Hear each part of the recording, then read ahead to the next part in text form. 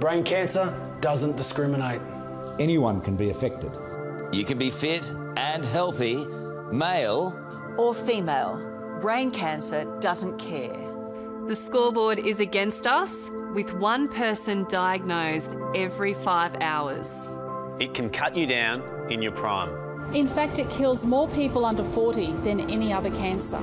In 2017, we lost more than 1,400 Aussies to brain cancer. That's more than our national road toll. And while survival rates for other cancers have improved, brain cancer survival has barely shifted in 30 years. It's time to unite and beat brain cancer.